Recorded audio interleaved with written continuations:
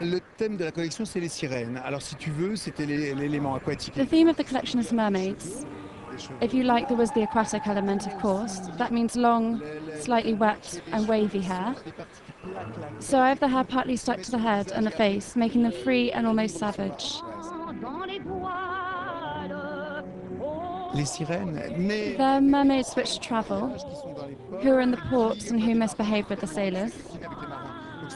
So it's a bit of a mixture. There is this crossbreeding which, which fuses mutations of the mermaid, who becomes a sailor, or a sailor who becomes a mermaid. Là, j'ai fait des robes, notamment avec du I did the dresses notably in Swarovski, but mixed with crochet.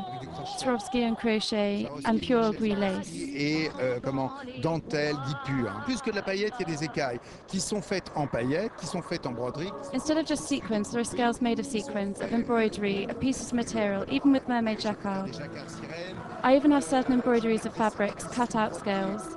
Even in the middle of these embroideries, I cut out scales. So that comes back all the time. On the shoes, everywhere. des écailles. Donc c'est, euh, ça revient tout le temps, tout le temps sur les chaussures partout.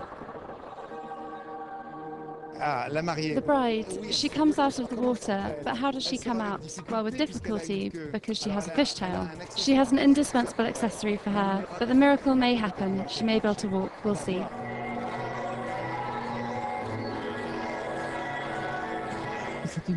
It's an extraordinary collection, poetry, a humour, all at the same time. What is marvellous is that behind all this refinement, there are always incredible cuts, such research into the materials, the colours.